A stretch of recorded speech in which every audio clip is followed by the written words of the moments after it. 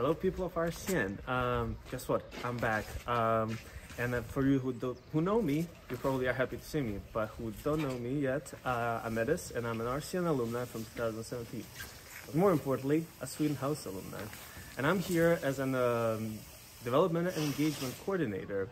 Um, what I've been doing recently and after the graduation is that I've been uh, doing a management consultant, but now I'm here uh, with the main responsibility to engage with alumni and communicate with alumni, and moreover to bridge our uh, beautiful campus with our beloved and inspiring community of alumni.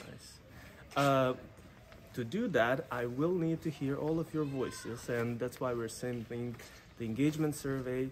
And please feel free to reach out to me uh, via email or LinkedIn uh, LinkedIn page that you will have in this newsletter. So thank you and hear from you soon.